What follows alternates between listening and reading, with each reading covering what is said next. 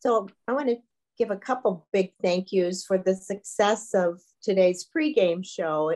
There's a I'd like to give credit to two people Maggie Bayless of ZingTrain fame for her celebrity Zoom capabilities, and the U of M Law School graduate Kathy Wyatt, who's chief analyst and assistant to Sheriff Clayton. I certainly would not have been able to get this organized without both of you. And thank you, Kathy. Fabulous. Excuse my my garb. I was trying to squeeze in my workout before our meeting, so well, good, excellent. Keep that athletic prowess that you've I'm had. Trying. It's the, only, it's the only way to manage stress, right? well, it's one excellent way to manage stress. It sure is. so I'm, go ahead and, and do an informal beginning. Our focus today is on youth, kids. I love kids. Kids make us laugh, they keep us young, they delight us, and yet sometimes they deeply disappoint us. Um, I, I, would like to introduce uh, Sheriff Clayton. Uh, he has served as criminal justice professional for 33 years. He's currently serving his fourth term and leads a values and mission driven organization. There's no doubt that Sheriff Clayton has our community well being at heart. He has specialized in several areas subject control use of force, cultural diversity, bias free policing, organizational management, and leadership. Sheriff Jerry Clayton has also served on a number of governor appointed advisory councils, task force, and commissions, including serving as commissioner for the Michigan Commission on Law Enforcement Standards, recently serving as chairperson. I, I learned also that he has um, been a consult for the FBI. That was something very new to me. Plus, listen to this. Sheriff Clayton serves on no, numerous local boards. These include the Washtenaw area, area Council for Children, the local chapter of the National Alliance on Mental Illness, the Mental Health Treatment Court Advisory Board, and the CARE Board working to end homelessness.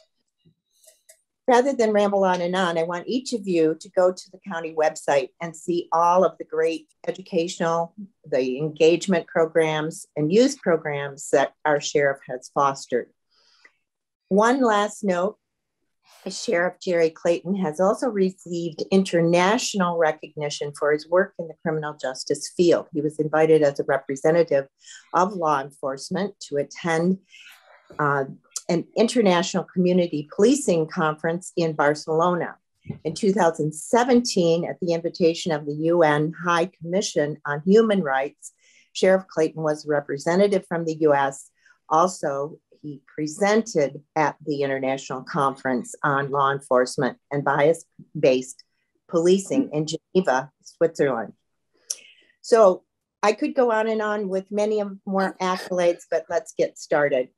Um, I mentioned youth and kids. I love kids. I taught at Ypsilanti High School and back when it was YHS.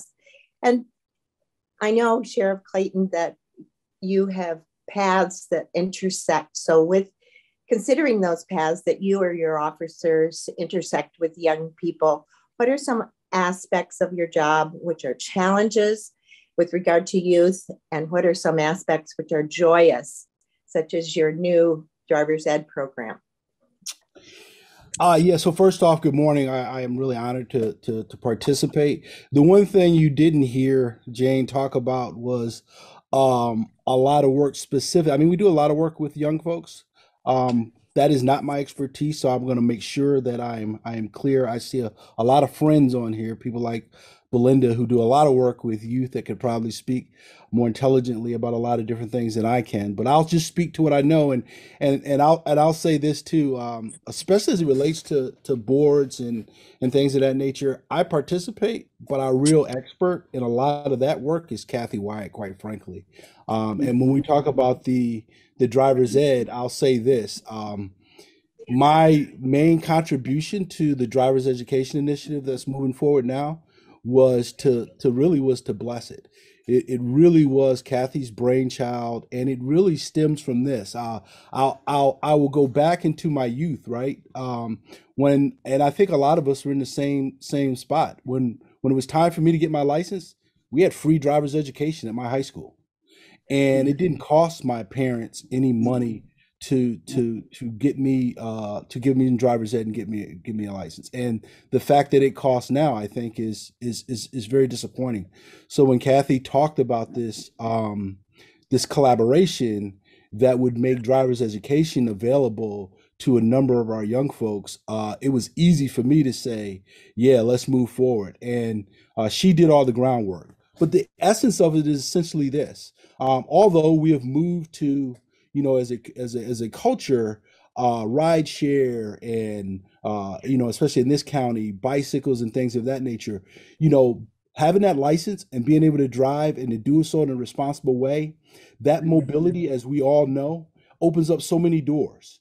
And when you think about a lot of our youth, especially those individuals that we know uh, are, are, are, are challenged in terms of maybe having contact with the criminal legal system, we find that they are isolated they're isolated. Oftentimes, they don't get off their block. They don't have access to the certain the, the, the required services. So I know at some point we're going to talk about the mental health challenges and all those things that our young folks face. You know, one of the keys to that is to to make resources available. And oftentimes, if they're in a single parent household or if they're in a, in a dual family household, but both families are working just to keep a roof over their head, it's up to the kids to make sure that they can move from place to place. Mm-hmm. And we want to make sure that as they're driving, they do so in the most responsible way, that they have a license, because uh, you know what, what's going to happen. Our young folks are going to do just like many of us what they need to do to survive or meet their needs. So if they don't have access to learning how to drive and, and a valid driver's license, they're going to drive anyway if they have access to a vehicle. And all that does is increases the the likelihood of them coming in contact with our with with with our our folks. And although I think our folks and the other criminal justice agencies in our county uh, do a pretty good job of exercising discretion. We don't want kids in the system and we don't want, want them harmed. Uh, there are still sometimes requirements for them to take action. So, long story short, this is just another ish- initiative that we believe are some of the front end interventions that are so critical to positioning our young folks to be successful in life. And um, you know, we could talk about a number of things. I hope at some point we talk about the proposed youth assessment center because I think as you think about your work uh, in this youth space, that I think your group is is going to be really, really important in terms of how we move forward. Um, your understanding of this youth assessment center, what's being proposed, and what the what the impact of that youth assessment center is going to be so important. So uh, I don't know if I answered your question uh, at all, but uh, that's the best I got, at least for in this for right now. Uh, so let me just say this real quick before Jay, before you ask questions, Kathy, what did I miss? I know I missed something. What did I miss that really uh, reinforces the essence of the driver's ed program? I think you got it. Okay. I think you got it. So that means she coached me very well. so Kathy, you spend a lot of time over there. What are you actually doing at Ypsilanti um, community school to are you facilitating the entire program and signing people up or are they already signed up? So um, it is a partnership with all star driving school because they have the expertise. They uh, reduced their fees somewhere 25 30% for us. Um, aaa foundation uh, gave us an award to basically cover that all-star cost. Um, Ypsi Community Schools is selecting the students and providing the location. Um, I do spend a fair amount of time over there now uh, while the classes are on because I always want to make sure that the room that that's provided was is open. So as student, soon as the students get out of class, there is an adult there. And I always make sure that I stay after because there are one or two students that um, have have to wait for parents, and I'm not about to have a student by themselves, or certainly not out in the cold. Um, and it it's certainly it the fact that I, there is are those challenges around transportation illustrate why um, transportation and having a valid driver's ed, uh, uh, license is so important. Um, it is hard. Uh, Washtenaw County is a big county. The east side um, is a big county, and, and the buses just don't run on kids' schedules, they run on bus schedules. And so, correct. Yeah, I, I am spending a lot of time, and I find the conversations that I have with some of these young people interesting and rewarding. Wow, thank you for that. And thank you for your time over there helping those kids. That's just fabulous. It sounds like a really dynamite program. I'm glad to hear about it. And the fact that it's free to these kids is amazing. It's just great that you were able to get those fees waived from All Star and thanks to AAA Foundation. So we are focusing on on what's free and what's not free. There are certainly a lot of fines and fees for which are assessed for justice involved young people.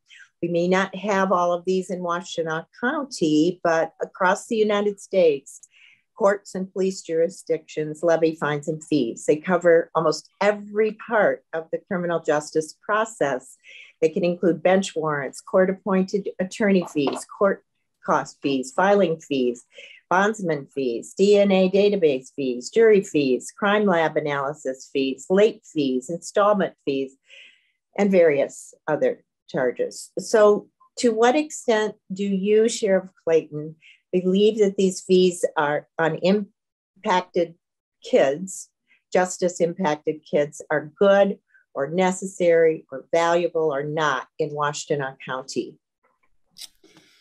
It's a good question. I think so. Obviously, our focus is on youth, but what I'm going to say, and I'll just speak to to right now what is currently the reality in Washtenaw County. But my my commentary after the fact will will be about all justice related fees. So right now, um, most of the fees are waived in court here in Washtenaw County. Uh, our courts do a, a, pretty good job of that. Um, but it had there's a process, right? So they're waived if there's a request.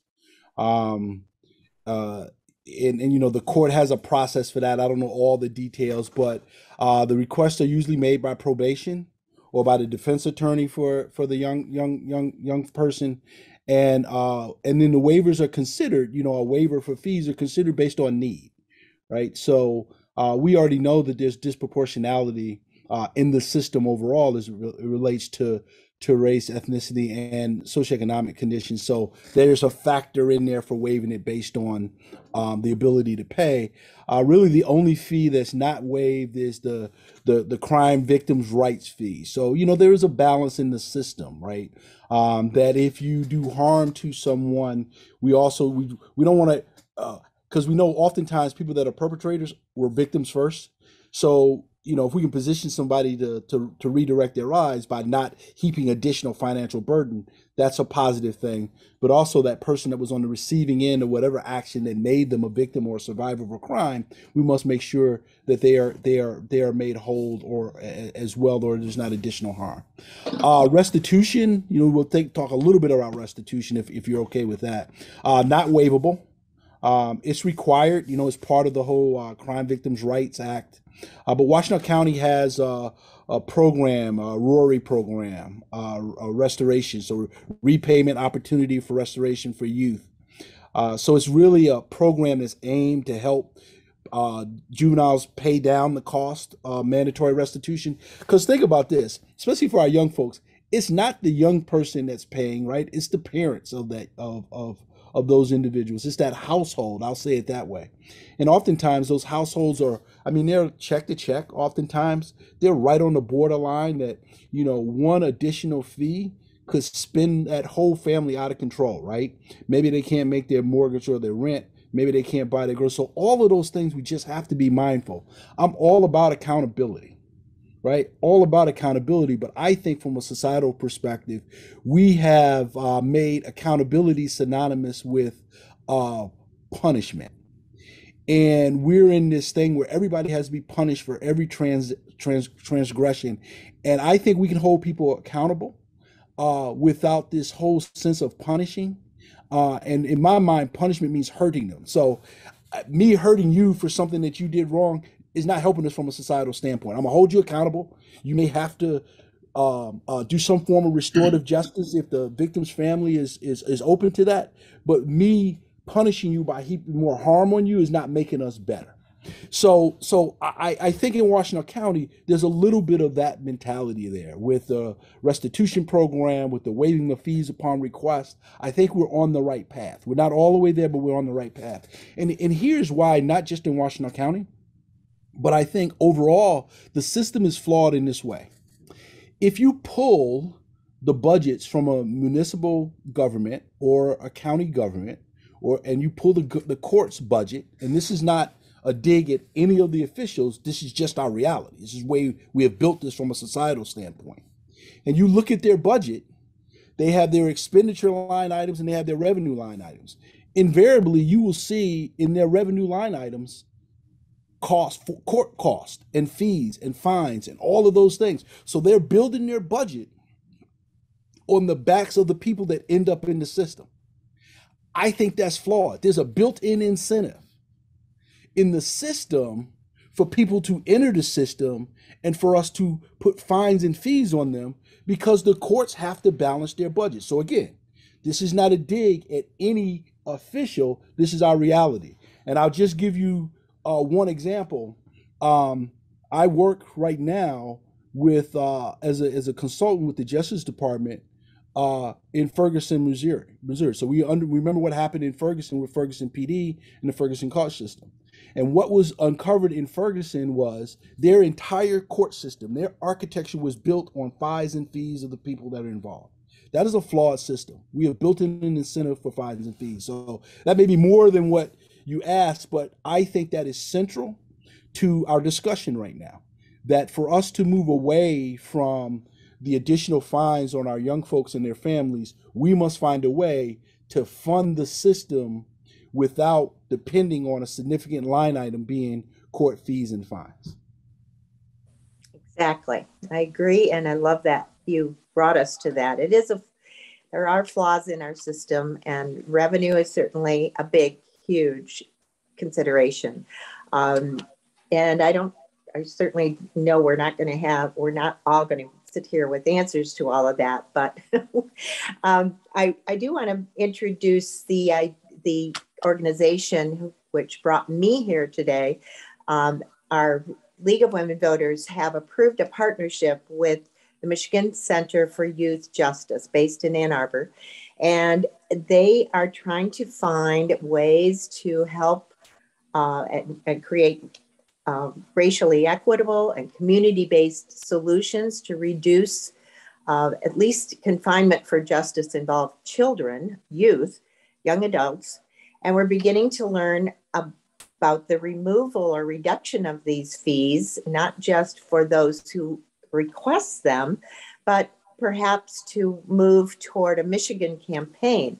Given the fact that we're one county out of 83 in Michigan, this is perhaps not, we're, there are many counties not even on the path to um, helping kids or helping these families. And so the Michigan Center for Youth Justice is trying to pr- propose a debt free justice under HR 4987. And there are three or four bills. 4991 is the last one. But Michigan Center for Youth Justice has called upon Gretchen Whitmer and the Michigan Supreme Court to end the harmful effects of assessing and collecting fines and fees. So, um, is is there any assistance in the trickle down of some of the American Rescue Plan? And I know these millions of dollars that are coming are spread over many, many, many budgets. But is any of this helping Washtenaw County?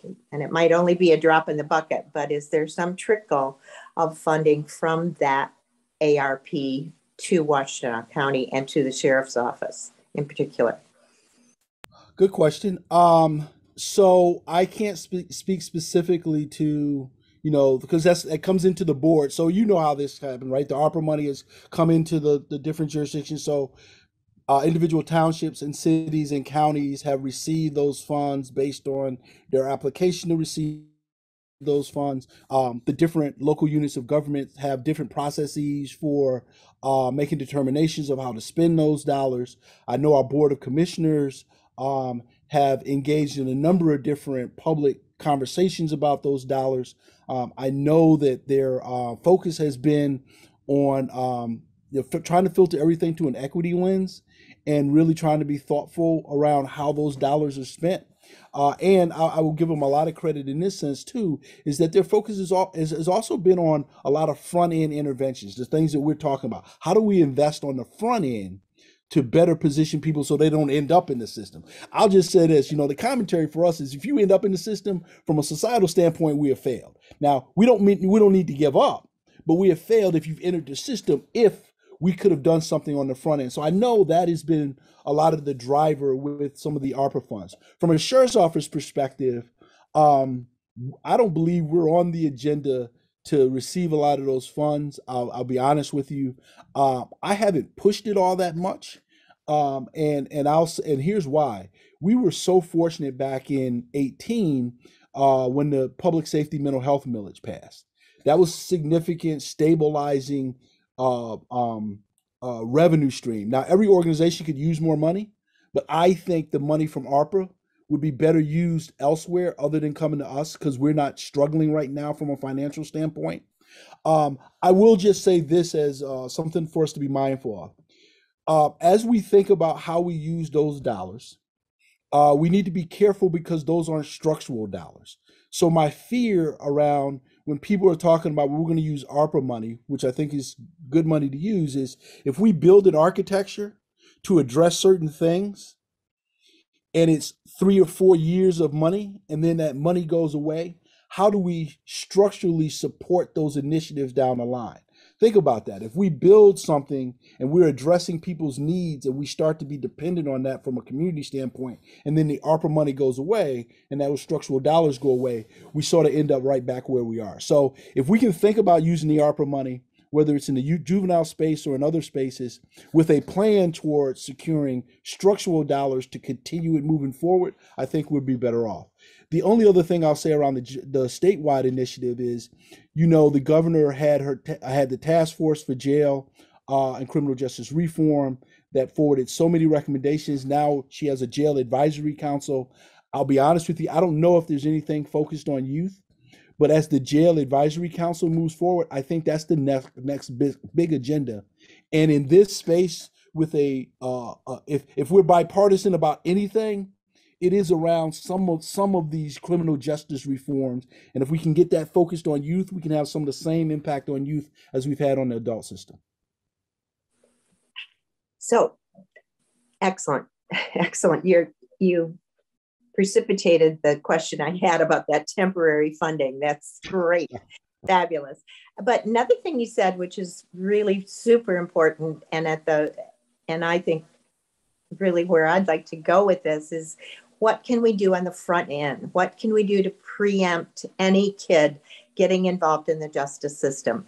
And um, perhaps we should jump over for at least a moment or two to talk about last Thursday and your law enforcement assisted diversion because LEAD, um, and I know you added another D, L E A D D, but talk about that for just a moment because that again starts at the crux of the problem and starts to meet and preempt a justice involved kid getting in the system. Great. So yeah, lead. Uh, yeah, of course. Yeah, of course. We had to add a D to it because you know Washtenaw County, so we had to put one more in it. But but but the D really is about diversion and deflection, right? So think about this.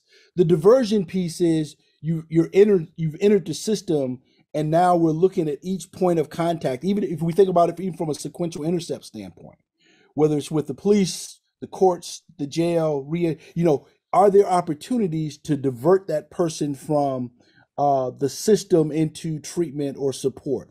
The deflection piece is really, I think, the, the most important part. How about deflecting that person before they even get in the system? And, and you know, it really is a formalized approach to what our staff, a lot of our staff already do. They really do. They do exercise really good discretion. There are a number of times, and the, the essence of lead is simply this police officer comes in contact with someone, it's and you know they're usually patrolling or in the same place over and over again. They know these individuals. Uh, maybe the person's engaged in low level or alleged low level criminal activity. Uh, nothing assaultive, nothing harmful. And they know this person has a behavioral health disorder, some kind of substance use disorder, some kind of mental health disorder. Um, there, we have some criteria established. They go through a quick uh, assessment uh, and then they can say, I think this person is appropriate for diversion or deflection. Then they make a call, and then a clinical uh, social worker, case manager, comes out and meets that deputy and does their own assessment, and then the person's given a choice. So, say they're engaged in some kind of criminal activity, the police report still will be written. It still may even be submitted to the prosecutor. So, the prosecutor's office is another partner. The prosecutor has a lead prosecutor, and we just sit on that report and that person goes and now they start to address their issues. Again maybe it's mental health substance use disorder. We also know what's combined with that right? Housing insecurity food insecurity all the things that we know uh, are barriers to people being in a good place. And if we can work with someone to address those issues and never have to move forward on that case, we start to impact the system, we start to impact people. And at the end of the day, you know, we've added a little bit to our our mission statement. Our mission statement used to start off uh, create public safety. Now our mission statement is morphed into co-produce public safety and well-being. And it's predicated on the understanding of us that we have a role in working with our community to produce public safety, but you can't be safe if the community doesn't feel well, right? If, if people aren't held in a in a harmless way.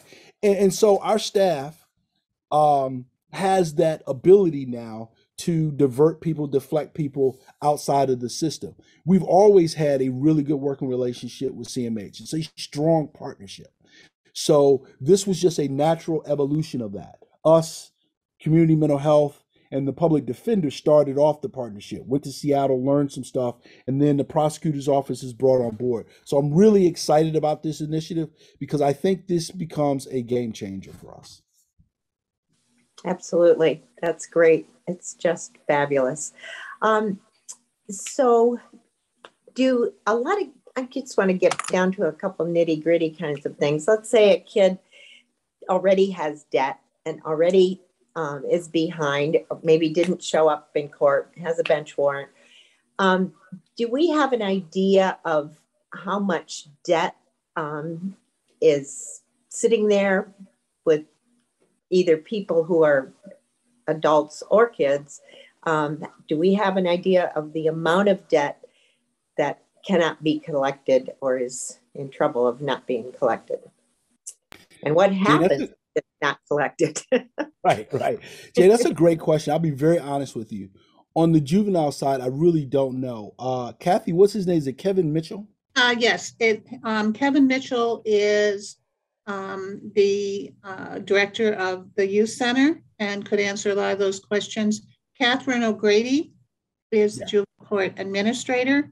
She also would be a really good uh, source for specific information. Yeah, Kathy's hundred percent right. I would, you know, as your as your group uh, continues to explore, um, she's probably already on your list of, of of guests to talk to but uh, if not, I would add her. She she knows more about from the juvenile system. Now, in the adult system, just overall, let me just give you an example. Uh, just overall, um, back a couple of years ago when we transitioned systems, uh, we looked at the debt, just the jail debt, just the jail debt that people owed. Um, I can't remember 600,000, 500,000. It was a significant amount of money held by a couple of thousand formerly incarcerated individuals, and we waived that fee. So we we we canceled that fee out. We had the authority to do it within the sheriff's office, um, and it was uncollected fee. So, and the reason why we did it is this: so even if you owe, because the, the the state allows us to charge a fee for incarcerated individuals. So there's a booking fee when we book you, this again, you're paying for the system. We charge you a certain amount, and then we can charge you per a per day fee, uh, and those add up. I mean, they really do add up, right? And we provide uh, what's called commissary, uh, some items you know, we provide we provide essential items for free. We provide additional items at a cost. And for those that don't have money, uh, we give them a certain amount of money per week to buy some of those items. So again, those costs add up. And as we were entering to a new system, we looked at what the back amount that was owed, and we don't aggressively go after people anyway. So I we are not we don't send to collection agencies. So if you owe money, we don't send people out. And again, it's just based on the belief you got enough stress on you if you've gone through if you've been in jail for 30 days and your family's been stressed and now you're out, you're trying to catch up on bills. You don't need us sending a, a, a debt collector after you. Um, and we don't need that going on your credit record uh, if you're trying to build your credit to again stabilize your your home life. So because we knew we weren't going to collect it and we weren't going to pursue it, we just waived it. So um, we got the support of the board of commissioners, uh, and we announced it. And we wanted to announce it not to brag about it, but to announce it to tell those folks that knew they had that debt hanging over their head that that debt was no longer hanging over their head. So just to give you an idea, you're talking six, seven hundred thousand dollars over a couple or a few thousand people. Think, and that's just jail costs. Now you just take that and keep extrapolating that over court fees and everything else. We're probably in the millions of dollars that people owe uh, to the system. That that for us, we we don't send warrants out for you, but if you owe court fees, um, there there's going to be a bench warrant out for you. And again, it keeps that cycle. And think about it from this perspective. Uh, if you didn't have the money to pay the fee, or, and let me just back up even more. You know, people enter the system sometimes for traffic offenses, lights out, things like that. Maybe because they didn't have the money to, to pay for it. If I didn't have the money to put the, to fix my tail light, then I probably don't have the money to pay the the court fee, and it just continues to build on each other. So again, uh, sorry for being so long winded, but you know, it's a it's it's a complicated issue that really doesn't have to be that complicated if we're just thoughtful in terms of how we approach things. I love that answer. I love knowing that they're waived, the fees are waived in many instances. I just think that's excellent. And I certainly didn't know that that happened. It, it's just great. So then debt doesn't simply lead to incarceration. It you have shortcut that not not right not necessarily you know and again we're just one component of the system um, that does lead to incarceration when we look at the entire system uh, because of really just the automated nature of how it goes. If you owe the courts money there's a process for them to to hold you accountable for that and it ends up in bench warrant. I will give you this I, I let me just say this really quickly as just an example of what is possible. So during the pandemic that we're still in uh, and our and our desire to reduce the the population in the jail, uh, and our desire to reduce the contact between our staff, our road patrol depths, and the staff. There are certain things that we didn't do on the road. We work with the courts, and the courts waived our. So if the judge issues a bench warrant and a police officer stops someone, they don't have any discretion. That's the judge is ordering us to arrest that person and bring them before them. But in certain low level offenses during the pandemic, the courts work with with not just us but with other local agencies to to and they identified certain bench warrants that you didn't have to arrest for. So there were a lot of folks especially those that were financially related that had bench warrants that did not that have not been arrested during the pandemic. So it just goes to show it is possible if we decide that's the path that we want to follow. Fascinating. That's just great. And so that's one pretty good outcome from the pandemic. It may be the only good outcome, but it's one good one. That's so cool. Um, someone mentioned to me that a public offender defender is free, and I wonder just a quick question here: Does the public defender, if I had a court appointed attorney and I don't have any ability, I've been raised in poverty, I might be fifth generation of, of impoverished in my family. Do I need to pay these costs at some point to um, pay the public defender or to pay for that court appointed defender? No, great question. You do not. Um, the the there there are no no no no fees for the public defender, and I, I gotta say, in Washtenaw County, we probably have the best public defender and the best public defender's office in the state. So Delphia Simpson is I'm Delphia. I'm a big fan of her. Uh, and even before that, Lloyd Powell. Lloyd Powell was a champion of uh, the public defender's office, and the support that the public defender's office gets in Washtenaw County is different than in other places. Now, uh, it's still we they still could use more resources, but Washtenaw County has done a pretty good job of resourcing the public defender's office. And again, I think we have the best one to champion. But to answer your question, uh, no, they do not have to pay for those services. And, and, I'll just add this last piece. You know, some people will say, well, yeah, you get what you pay for, right? That you don't have to pay for it. So the quality of those services aren't as good or the quality of the people delivering the services. I would argue that is not true in Washtenaw County. Um, Delphia and her staff are top notch attorneys. You know, the challenge for them is workload, right? So they're they're they are very talented individuals. They do carry a very vast workload, and that impacts their ability to really really zone. I think really um, zero in on for some of the clients. But I think the services that they get are top notch. Fabulous. Oh my gosh, I agree with you about Delphia Simpson. She's just incredible, incredible. And it was it was good that she was also on the call last Thursday when you rolled out your lead program. That were that was a, a wonderful team you had organized for that. So hats off to you. Um, I'm going to pull Maggie back in if if we could. Maggie's our our Zoom person and she's looking at the chat. I know that Sheriff Clayton, you could also see the chat. Um, actually, but uh, actually, he he can't see the chat, Jane, because oh. I couldn't make him a co-host. I think okay. you have to do that. Okay, well, I'll certainly do that right now.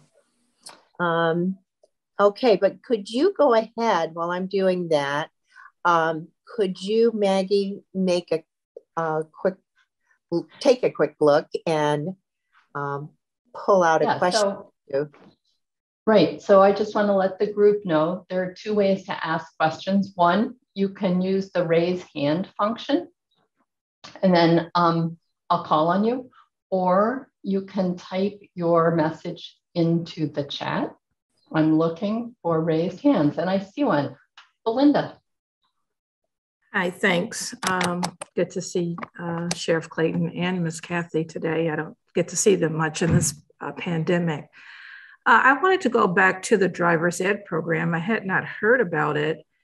And um, the DRC is working with the circuit court on a docket for youth who are aging out of the foster care system. We've been doing this since uh, early in the pandemic um, for a variety of reasons. I won't go into that, but uh, the court is now, the juvenile court is now uh, giving very intense attention to each of those youth uh, who are about 16, uh, 15, 16 years old, and they're beginning to age out of the foster care system. And driver's ed is a recurring theme. Um, keeping, I mean, just just for the, the the audience here, kids aging out of the foster care system means that they're living in a residential setting or with foster parents. Um, very often they do not have parental support or family support to get through the driver's education experience. Um, and for everything that Sheriff Clayton mentioned, having that driver's license is really important to their ability to transition into adult life and live independently and work and go to school and all the things that we desire for our young people. So I'm just wondering is this um, program available to them or how do I learn more about it? We don't have to take a lot of time here, but I just wanted to learn more about it. Oh, and Sheriff, should I take that? Oh yeah, yeah. Go ahead, go ahead, Kathy. Sure. So um, it, it's kind of complicated, and I would be happy to talk to you more, you know, at length about about it and some of the challenges depending upon age you know, in another setting if you would like. Um, so one of the, for children aging out of the foster care system, actually driver's education is no longer available because it's mm. kids who are under 18 by the time they pass segment two. so for specifically kids driving out of the um, get me aging out of the uh, foster care system, they there's a whole nother challenge. And in fact, I just was on a meeting with Michigan Works and Ozone House last week, uh, where I connected them, the two of them. Uh, Michigan Works has a program that is covers kids actually um, in that age group up to 24 that um, is part of their employment or secondary education uh, readiness that includes uh, driver's training. Um, the, the challenge they've had in the past is that kids, uh, there's, you know, it's federal money. They're required to hit all of, you know, be a part of that overall program. And uh, kids would show up to get driver's ed. That's and then they wouldn't. That that was it. You know, they wouldn't stay for the whole program.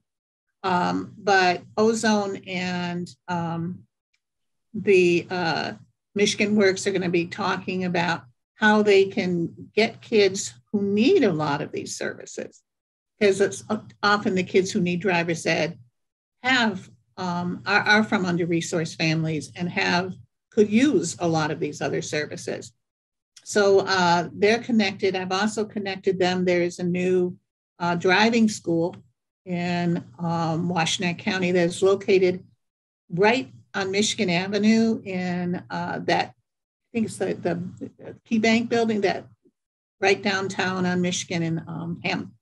And uh, they, so I connected them, uh, you know, also to him, to this Coach Richardson's driving school. So because of, of the location, that is the other challenge that a lot of young people face in getting driver's education is they, they don't have access to transportation and they have uh, you know getting there or or um, so i right now it sounds like uh, kids aging out of foster care wouldn't fit into the driver's ed program that is at the school. But i think if we were to talk about it maybe we could come up with an alternative um, a, a possibility if you're interested. Since I've ended up doing a lot of work in this area. Okay, uh, I'll just add it to my to-do list and reach out to you separately okay. on it so you can maybe learn more about it. And I do have to hop off uh, to get to a 10 o'clock, but thanks everybody for this session. Good to see you, Belinda. You too. Yeah, fabulous. Um, just as a last question, is the YCS driver's ed program a pilot or will it only be available to Ypsi kids? How does how does that work? It is currently a pilot. It is brand new. We're working through a lot of challenges. Um, I would be happy to, and remiss not to mention that we will need funding for it in the future. Um, just have to throw that out there. Uh, it, and it is a partnership uh, right now with YCS. And we have another class starting up in March. Um, uh, there is a maximum set by the state for the number of students that can be in any one specific class. So we'll have another one in March. And uh, as soon as that's done, uh, we'll start fundraising for next year. Thank you.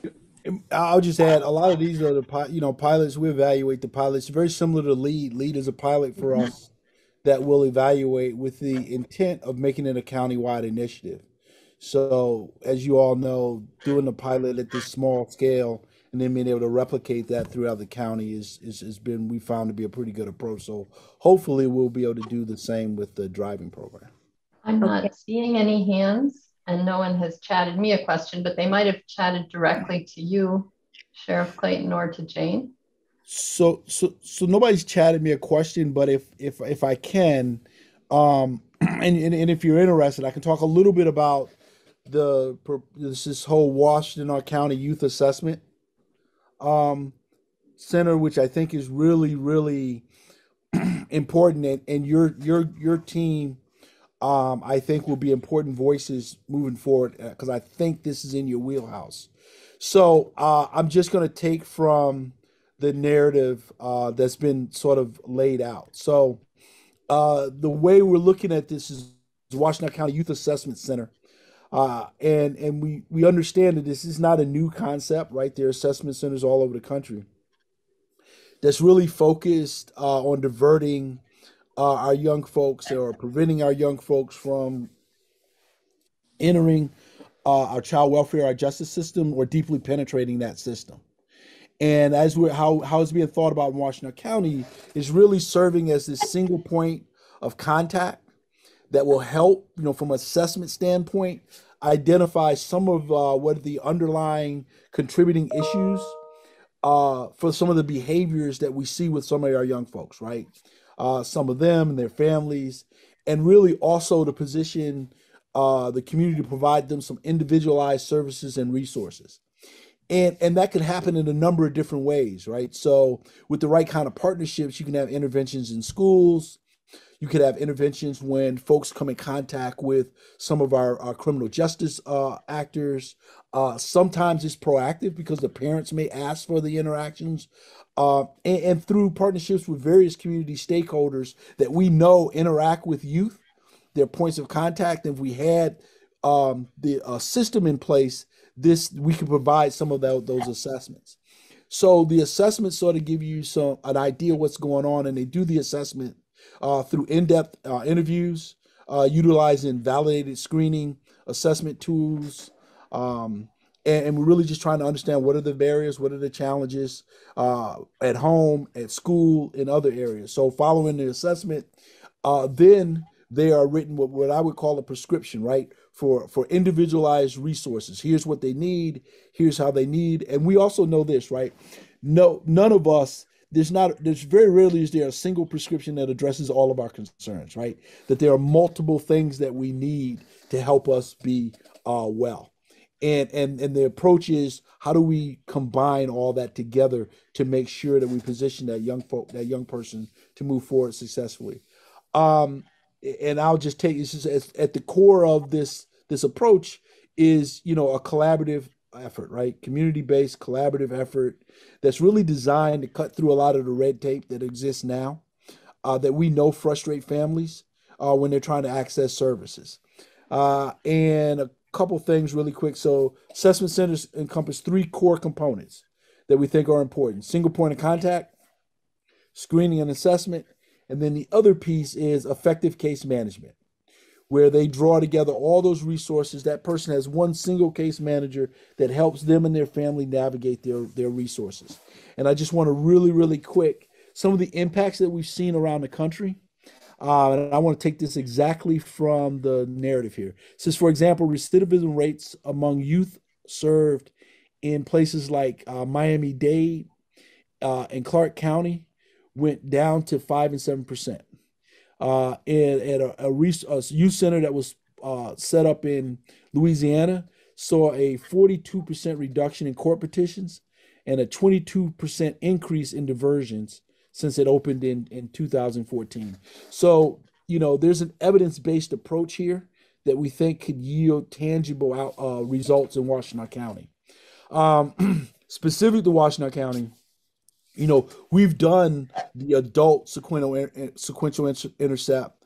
They've done a similar approach in Washtenaw County, and they've identified a couple things. You know, especially post pandemic, right? 2019, it said one in three of our high school students and half of our female students reported persistent feelings of sadness and hopelessness, um, and an overall increase of that population since 2009.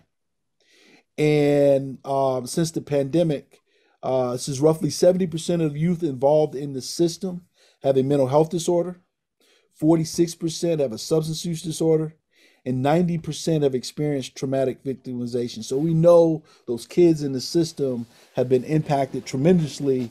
And this, this you know, really the focus is how do we, on the front end, address some of their needs. The goal of the work uh, is to create a comprehensive blueprint for identification of youth. So we did this um, sequential intercept at the youth level to identify where the gaps, where the overlaps. Now, how do we develop a blueprint for addressing those?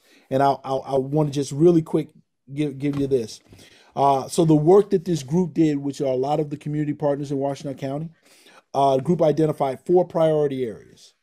Supportive housing expansion, right? So we know housing insecurity is not just a challenge for our adult population, but it's for our, our youth, right? We know a lot of our youth are couch surfing, going from place to place. Uh, another priority area is a 24 7 drop off facility. So, you know, we have a 24 7 drop off facility uh, for our adult system now. We want to we want to develop one for our juvenile system. Develop a community based peer to peer system for supporting vulnerable youth and families. And the fourth is develop uh, a first contact youth assistant program, right? So, right up top, almost like a youth based, I don't know if you would call it lead, but some kind of first contact uh, uh, uh approach. Um, we've a lot of this work has already been was done based on the the money that we got from the millage.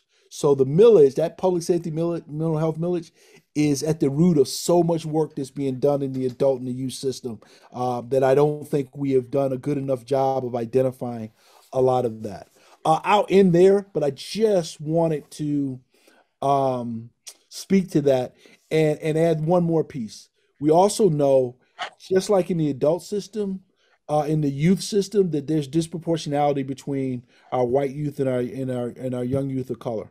And the example is in 2017, 69% of the justice involved youth were youth of color, while only representing 25% of the total population of, of youth in our community based on the census. So, you know, all the programs that we think about, both in the adult system and in the um, juvenile system, is, for everyone. And I, I want to be really, really mindful of speaking to that.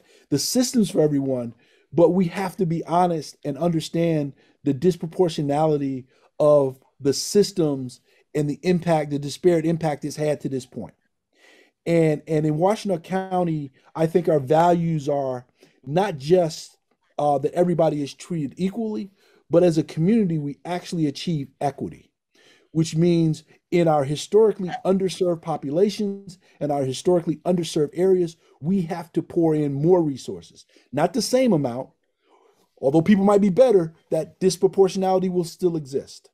So it is not anti any other group.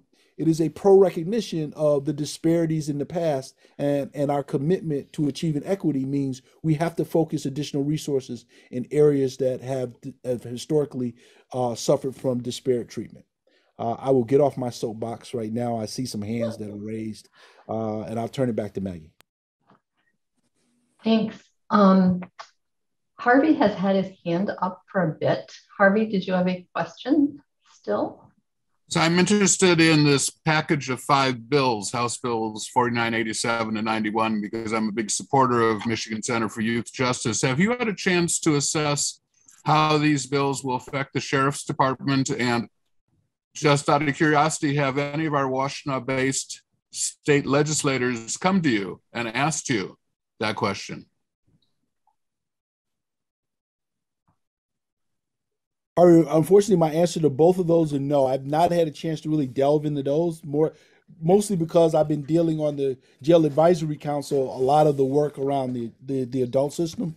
Um, but I will do so, and uh, I am always, you know, I get a good relationship with our state legislation, and if they come to me, uh, then I will engage with them. But in all honesty, the answer to both of those are no. Unfortunately, they should be coming to you. Thank you. Thanks. Joan, you've got a question. Thank you. Uh, so many interesting and important things in the Youth Assessment Center. I uh, could you tell us how you have set up and what sort of data process? Uh, uh, uh, uh we need data on it, right? So we can uh, see if we're going to be as good as some of the counties you mentioned that have done so well. However, how are we um, accumulating and how are you getting the data and what sort of data is it? So, so, so again, Joan, I'll, I'll just say this. So that the, the youth space is not my space. Uh, I, I don't, I don't lead in that. Uh, I, we just happy to be a, a contributor. I think, um, again, I would say if you brought in someone like uh, uh, uh, Catherine O'Grady or Trish Cortes, actually, or or both of them together, they could speak a lot more intelligently about this than I can. Um, but I'll say this I am confident they've replicated what we tried to do in the adult system. and really what it requires is the integration of a lot of data. So in the adult system, we had to integrate jail data and mental health data. My assumption is in the youth system, they had to integrate their juvenile data with their mental health data to build those, those, data sets to start to guide their work. But in all honesty, I can't speak specifically to it because I was not a part of that process. Thank you. Kathy, I see you have your hand up. I'm guessing you, it might not be a question, it might be an answer. Um, actually, I did. And uh, the reason is I wanted to give a shout out to uh, Valencia Brooks um, from Ypsi Community High School, who runs the Grizzly Center, which is the restorative justice center at the high school, and to the young people that she's put together um, to help uh, with that. Uh, they're Grizzly mentors, and they're amazing young people.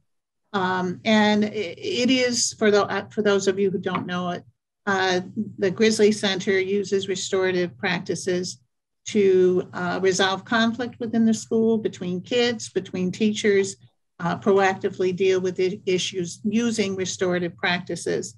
And it struck me um, being in the school more. I've talked to some of the kids and actually a couple of the mentors. And um, they, the difference restorative practice and having that center in the school from what they're telling me is they just, it, it, it's a vital part of the school. And uh, one of the things uh, Sheriff Clayton may, can maybe talk about in terms of the adult system is uh, the support that he has and the sheriff's office has for restorative uh, restorative justice.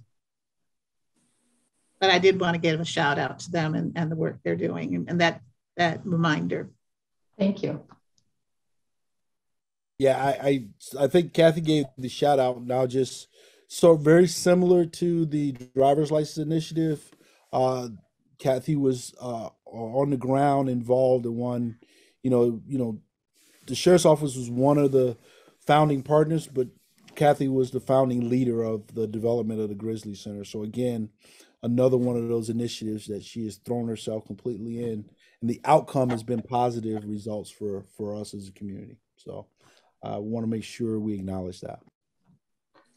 So I know we're getting right to the end, but there is a lot of enthusiasm for the Youth Assessment Center. Just what can people on this call do to to support it?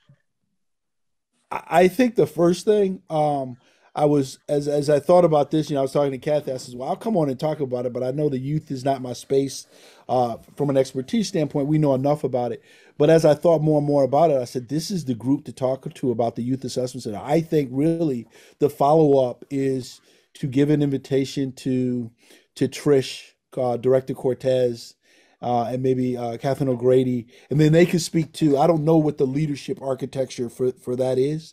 Uh, right now, I know Commissioner LaBarre has sent out um, to some of the stakeholders an email uh, that's sort of like an assessment. I mean, a survey what's important what should we be thinking about as we think about this so so as the county is thinking about investing in this your voice to those commissioners to to invest in this will be critically important so uh, again i would suggest bringing in folks that know more about it than i you know obviously you guys getting more educated about it and then talking to the board of commissioners and encouraging them to support this and make sure that we have structural investment uh, for this moving forward. I think it's it is I think one of the foundational components for how we move forward as a county.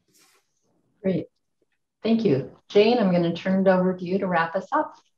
Okay, well, I'm thrilled to know about the Youth Assessment Center. I certainly did not know we had this in place in the county. I will reach out to those people because they will be key to us moving in a new direction. I thank you, Sheriff Clayton. You have been fabulous. It's just a joy to be in your presence. And I know you have a busy day starting right now as soon as we end this call. But um, my big gratitude goes to you and to Kathy Wyatt for your contribution this morning. It's been fabulous. I've learned so much. It has been interesting, and I can't wait to move forward and continue. Thank you so much. Thank you for having me. I really appreciate it. Keep up the great work. This is how we build right kind of uh, strong communities. Thank you so much.